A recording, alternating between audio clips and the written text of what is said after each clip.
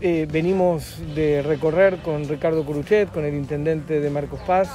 la limpieza que estamos haciendo en, el arroyo La Paja y en el arroyo Morales, que por supuesto tiene que ver con mejorar la situación de los arroyos eso hace el saneamiento de la cuenca y también mejora las condiciones para evitar las inundaciones. Aprovecho también la oportunidad para agradecer al Martín y a todo el equipo la decisión de bueno, este, poder estar realizando este tipo de obras que a los efectos de calidad de vida de nuestros ciudadanos y ciudadanas este, mejora muchísimo para las épocas de, grandes lluvias y que seguramente después el disparador de otros proyectos más.